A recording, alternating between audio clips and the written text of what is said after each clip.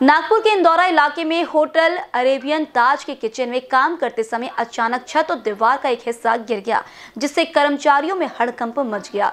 तुरंत मौके से भाग निकले वे।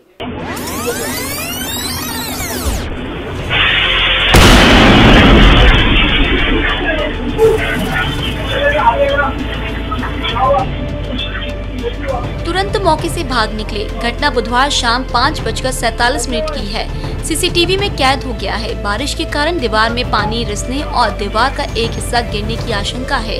हालाँकि दीवार का एक हिस्सा अचानक गिर गया, लेकिन गनीमत रही कि कोई हादसा नहीं हुआ। एक कर्मचारी को मामूली चोटें आई हैं। कैमरा पर्सन राजकुमार मोहर के साथ अभिषेक पानसी बी न्यूज़ नागपुर।